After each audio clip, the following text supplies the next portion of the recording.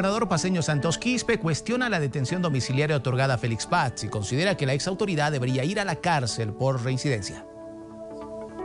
Él no tiene vergüenza, mira, primero se ha hecho votar como ministro, segundo se ha hecho pescar también en estado de ebriedad cuando estaba como, como gobernador ¿no? del departamento, pero ahora también se ve nuevamente que está ocasionando ese accidente, ¿no? Hay heridos y parecía que la justicia está a favor de él, ¿no? El gobernador de La Paz, Santos Quispe, cuestionó la decisión del juez que determinó otorgar detención domiciliaria al exgobernador Félix Pazzi.